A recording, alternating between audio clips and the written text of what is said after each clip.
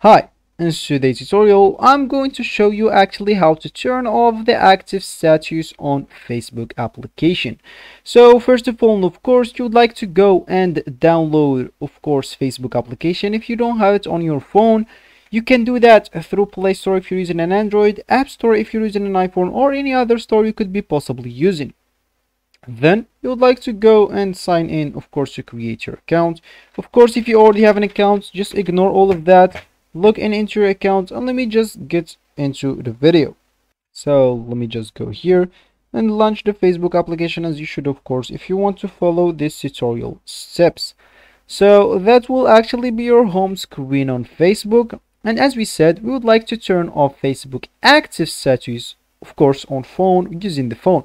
So in the bottom right of course of facebook as you can see here we don't have anything actually here because we are not using Facebook on the website. But if you are like using it on the application like me all you need to do just go and click at the three lines at the top right corner.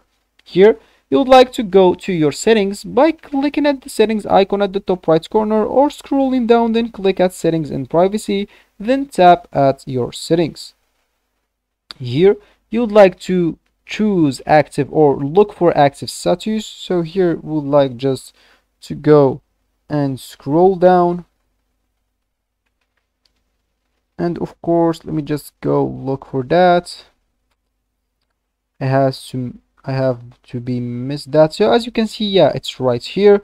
Go of course you will find this here on audience and visibility section. So just go and click on that and as you can see here show when you are access so if you actually disable this you will as you can see here you won't be able to see when your friends are and connections are active recently active or in chat with you. So if you want to turn it off you will not seems active to people but the same will happen for you. You will not see people eh, if people if people active or not.